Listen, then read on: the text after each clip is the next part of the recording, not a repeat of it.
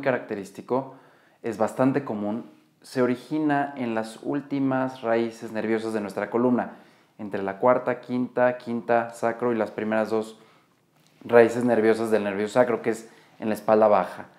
Cuando se irrita o presiona alguno de estos nervios, causa un dolor muy característico que corre por detrás de la pierna, se puede detener en la nalga, detrás de la rodilla o correr hasta el pie.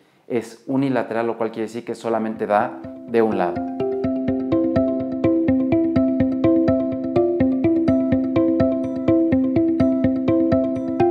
La irritación del nervio ciático puede suceder por varias razones. La más común es algo que se conoce como mecánico postural.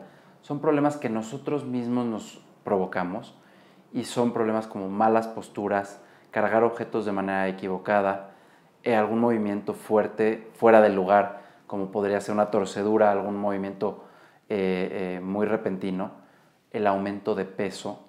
Todo esto hace que los últimos nervios de nuestra columna pierdan su espacio y se puedan llegar a irritar, causando un problema conocido como la ciática.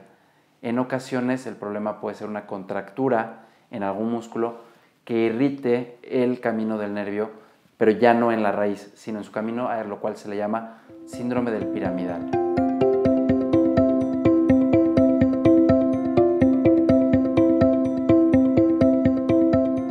Las personas que sufren del nervio ciático realmente tienen muchos problemas para llevar a cabo sus labores diarias. En ocasiones las personas ni siquiera pueden mantenerse de pie. Solamente al levantarse de su cama experimentan un dolor angustiante. Eh, en otras ocasiones el dolor es bastante más leve, pero siempre muy molesto. Depende el grado del dolor, es cómo va a afectar su vida, pero definitivamente ninguna persona que sufra de compresión en el nervio ciático puede llevar una vida normal, por lo cual es un tema sumamente importante para nosotros y por lo cual podemos ayudarlos.